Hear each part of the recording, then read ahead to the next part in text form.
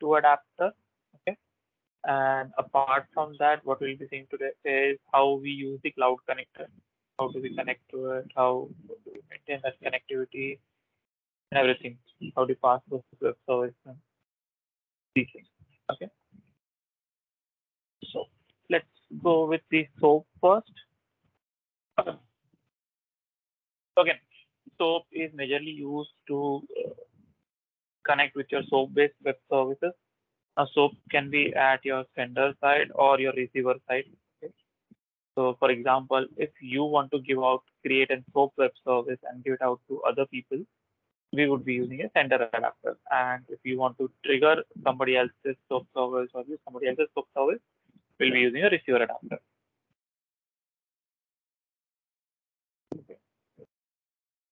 Let's say we want to create something.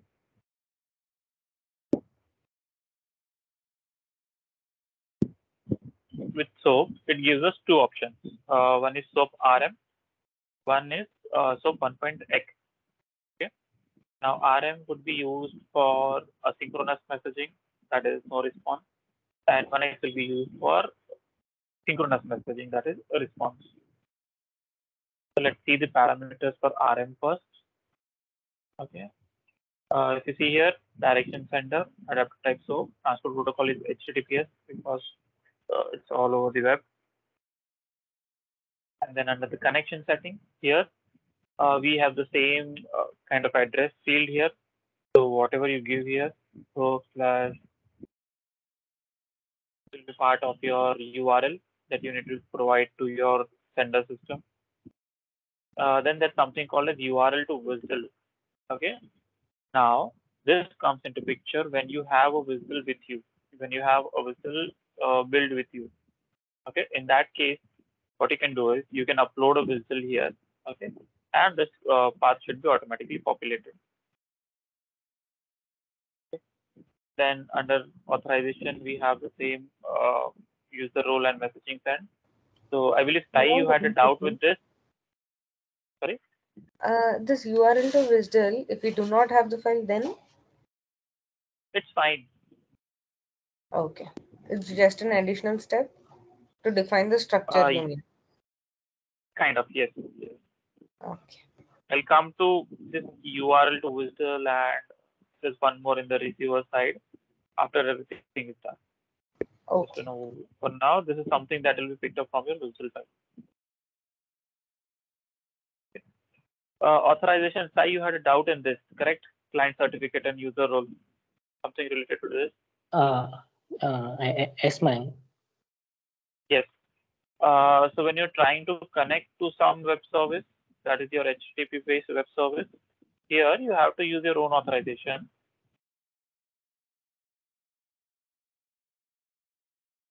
Yeah. Yes. Here, uh, when you select client certificate here, so you're selecting here in the receiver, you mean?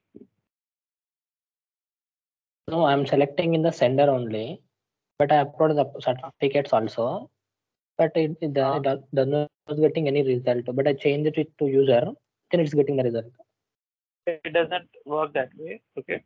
So the certificate that you imported in CPI for your NY time service was different. That was just your connectivity certificate. When you select client certificate, this has a different mechanism of authentication here in the receiver itself. So CPI system will be authenticating against that Uh, uh, NY time here.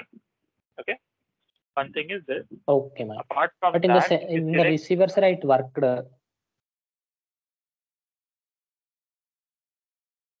Hello. you use certificate based authentication in receiver. Ah, I used in that scenario that on the receiver side and it worked. Whereas I changed that user role to certificate in the sender side, it does not getting it's getting an error. Yes, it doesn't work. The reason being here, the third party system has to authenticate against CPI. So when you are sending your data through Postman, you are basically a third party system. You are not sending any certificate to CPI. Correct. That is why this was failing here when you select it as client certificate. You are using your basic credentials, right? Username and password. Yes. That Mm, is why if you select client certificate, then things change, then you have to create key pair, upload that pair here, uh, send that key from your postman and everything.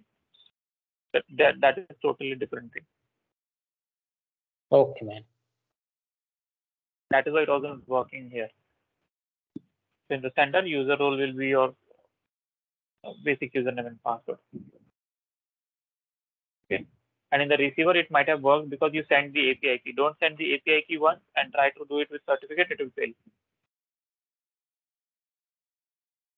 Okay. Uh, yes, moving on. Uh, under the conditions, we have the same here again, uh, the maximum body size and attachment size from here.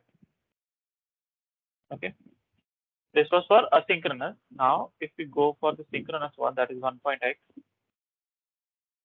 Well, technically, supposed both of them, but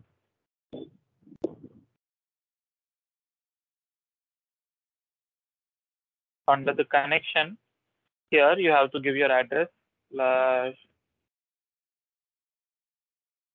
your web service is. Okay. Here again, service definition is either manual or using WSDL. So if you have that WSDL available to you, you can upload it here. Okay, but if you select manual, it will simply uh, not refer to that WSDL. So if you have already received a WSDL which you are doing using, then you can upload that WSDL here and this will automatically populate these values URL to WSDL, what is the service, what is the endpoint and everything. Then again, web service address addressing. Uh, if you select this, it internally changes its uh, addressing protocols. Uh, I've never used this till yet. Okay. Then message exchange pattern. This is where you define if it is going to be a request reply or one way. Okay. So if you select request reply, it will become a synchronous service. Okay. And if you select one way, it becomes asynchronous service, only request. Uh, but if you do an asynchronous uh, service, here what will happen is if you select robust, in this case, the errors will be sent back to your uh, the sender, just the error, no no response, just the error.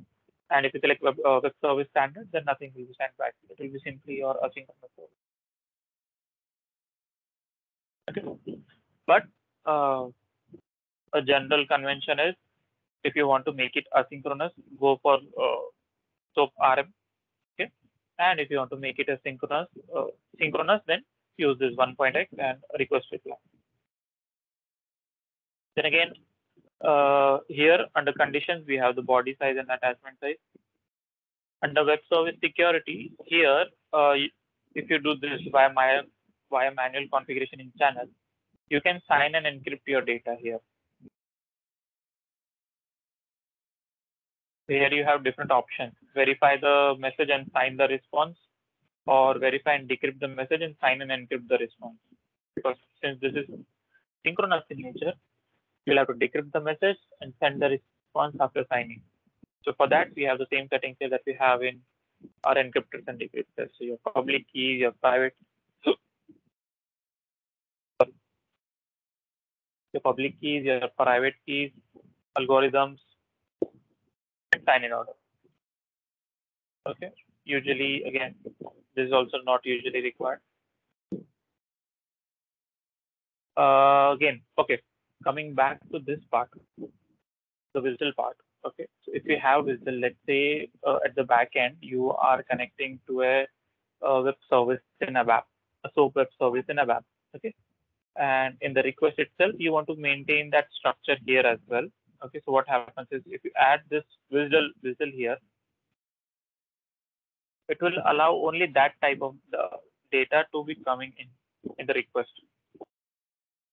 Like if I send any other data for now, it will accept it if it's inside the SOAP header, uh, SOAP, SOAP header, envelope, and body SOAP structure.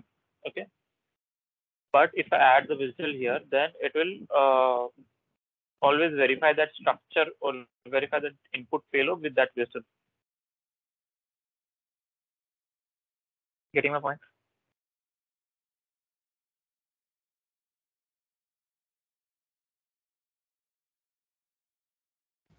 Can you repeat it once, Mayank? if you don't give a WSDL here manual, okay, uh, then you can send almost anything uh, from your sender system. Okay, as long as it is in the SOAP format, the general SOAP header, SOAP envelope, and SOAP body, or the SOAP envelope, header, and body. But as soon as you select here as WSDL, you provide that WSDL, then the request should come in the same format as the WSDL request.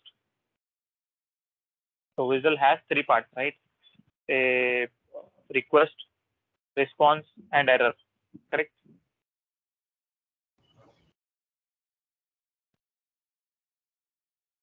So it it will have to follow that structure, follow that specific structure.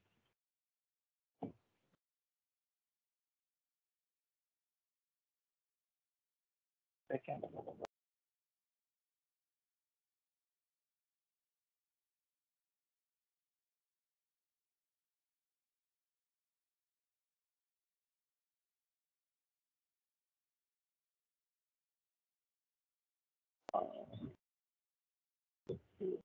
Here, uh, nothing here.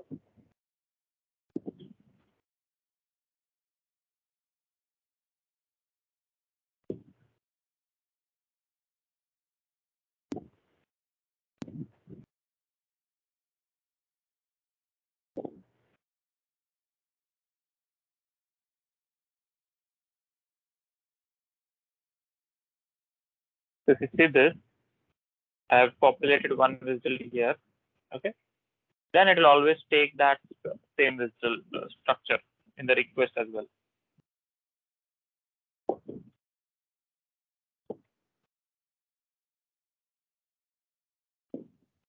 Okay. And now if we move to the receiver, whenever you want to trigger someone's uh, already existing SOAP web services, again, you have the same thing here, either SOAP RM or 1.x. Okay, I'll just go to 1.x. Under the connectivity parameters here, here should come uh, your address.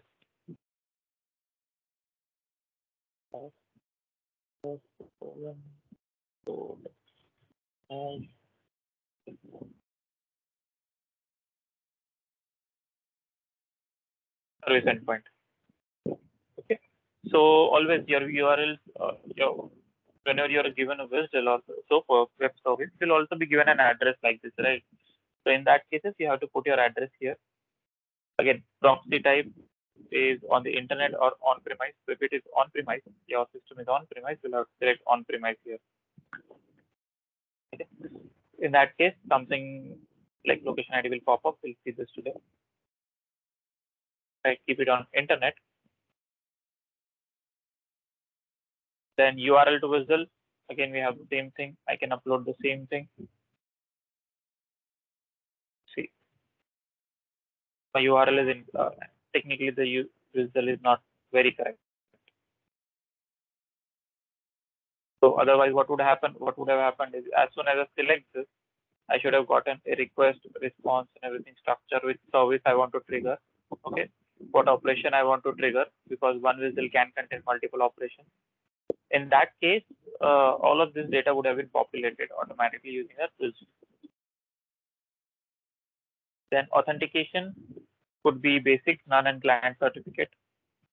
But uh, when you select this as on-premise, here you are only allowed basic and principal propagation. So Only basic authentication is allowed when you're connecting to an on-premise system using Cloud Connector. Cloud Connector will not support your certificate-based authentication.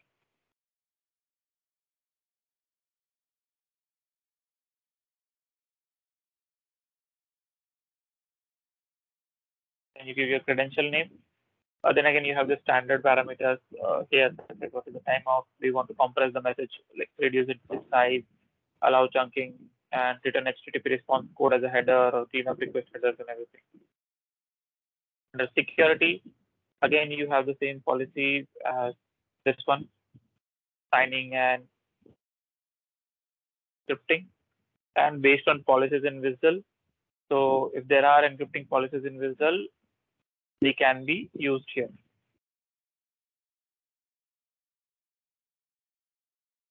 but again, uh, this is never really required.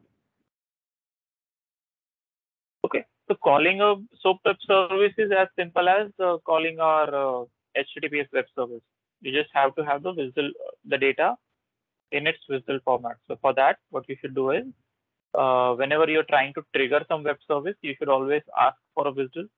Okay, and just before sending the data back, you should have a message mapping where you're converting that data into your WSDL data, WSDL format, whatever your request or reply formats are, you're converting that into your uh, WSDL formats.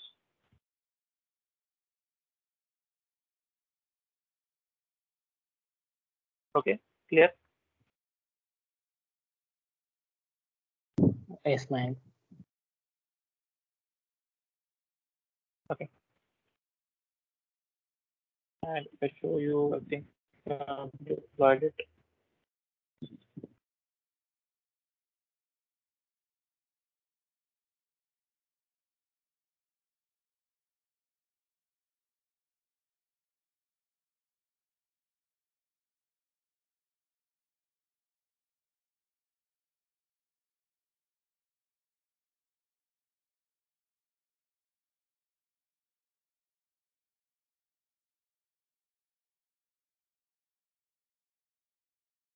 And see, this is for the sender part. So you have this SOAP web service created here. So when you have created it, this is the URL that you need to give to your sender system. And if you have defined the WSDL here, you can see the WSDL and download from here. WSDL and WSDL without policies.